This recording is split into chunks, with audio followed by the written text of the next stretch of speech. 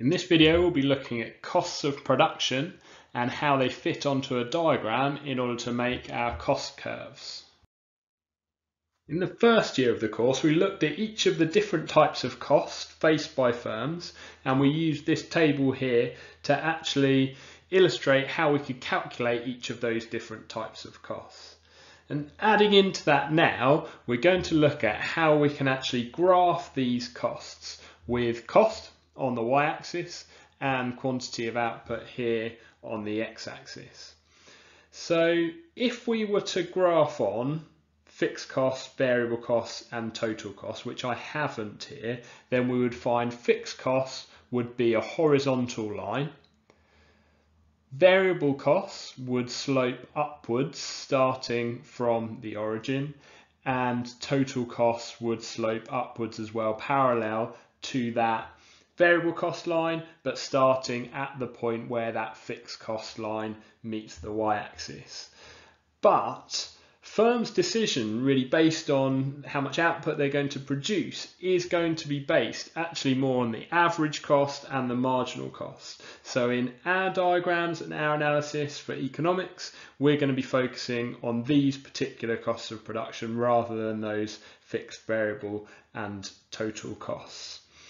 So starting with the average fixed cost curve, which is this one in orange here, you can see that that takes a downward sloping shape and that is because as output rises that total fixed cost will be spread over a greater uh, amount of output. The calculation for average fixed costs is fixed costs divided by output. So it's going to be very, very high at low levels of output. And as output increases, that average fixed cost will come down at first very rapidly and then more gradually across higher levels of output. So looking next at the marginal cost curve, and remember the marginal cost is the additional cost of producing one extra unit of output. And the marginal cost curve usually comes in this tick shape. And the reason for that is because at very low levels of output, increasing the quantity produced is generally quite easy and can often be done more efficiently. So imagine you're running a bakery and the additional cost of producing your sixth, seventh, eighth cake is very likely to be lower than producing your first or second. You might get some benefits from specialisation and division of labour as you add your first or second worker and that leads to across relatively low levels of output your marginal cost to come down as you increase your output. But quite quickly, that problem of diminishing marginal returns are going to set in. And we're drawing these cost curves in the short run, and so you get that problem of adding more and more workers while your capital, so your ovens and your shop, remain fixed. And those diminishing marginal returns make it more and more costly to extract those increases in output and so marginal cost as a result of that is going to rise in this upward sloping way making that tick shaped curve. Now what's really most important in all this is the link between the marginal cost curve and the average cost curve. And we're focusing here really on the average total cost curve.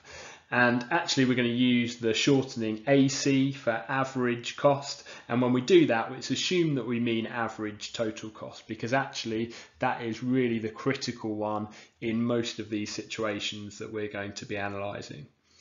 So what is the reason then for this average cost curve, our average total cost curve being this U shape that we can see on the diagram here? Well, the reason is because when the marginal cost is lower than the average cost, the average cost is going to be falling. And this is not something that's just likely, it's something that by definition must be the case. Um, and to think this through, imagine you've got 10 people in a room and they've all got £10 in their pocket. You enter that room with £5 in your pocket. Now, in that situation, you are the marginal person, the additional person entering the room. So you've got a marginal amount, if you can look at it that way, of £5 in your pocket. Well, in that situation, the average amount has to go down. Before, you've got 10 people with £10 in their pocket, the average amount that each person has in their pocket clearly is £10.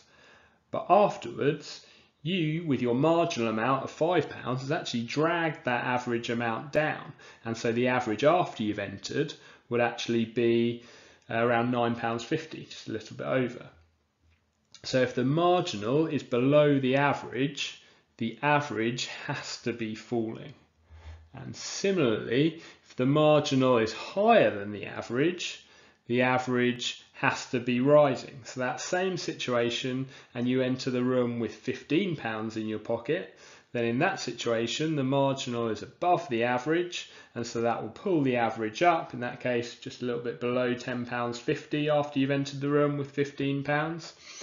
Um, and what that means is that the marginal cost curve must meet the average cost curve at the lowest point of that average cost curve. And so you can see there across this range of output, the marginal cost is below the average cost. So that is what gives rise to the falling part of that average cost curve. And then the marginal cost curve meets the average cost curve at its minimum point. And once the marginal cost is above the average cost curve, then that's going to pull up the average cost and the average cost is going to start rising. So if we accept, as we've just explained, that the marginal cost curve takes this shape, really by definition, that average cost curve must be coming down across this range of output and then increasing across this range of output, making that U-shaped average cost curve.